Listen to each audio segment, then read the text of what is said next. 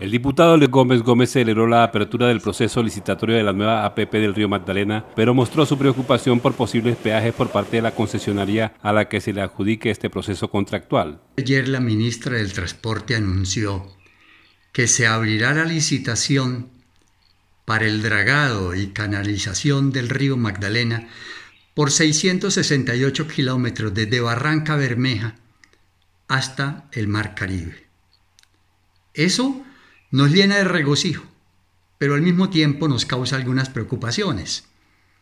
De regocijo porque siempre hemos soñado que el río se convierta en una superautopista muy funcional y muy económica, sobre todo muy económica, muy competitiva con el transporte por tierra, para llevar pasajeros, para llevar carga y para llevar turistas, por ese encanto que es el valle del Río Grande de la Magdalena.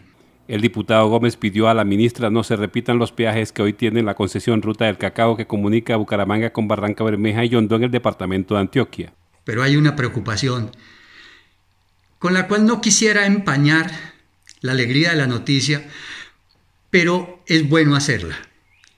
Y es que no se justificaría que el gobierno colombiano del presupuesto nacional que se configura con los impuestos que pagamos todos nosotros aporte 1.5 billones de pesos, que eso es muchísimo dinero, para que un privado haga la canalización y durante 15 años administre el, el tránsito de vehículos náuticos por el río Magdalena con la libertad para que ponga peajes. La concesión para la recuperación de la navegabilidad del río Magdalena es por 15 años.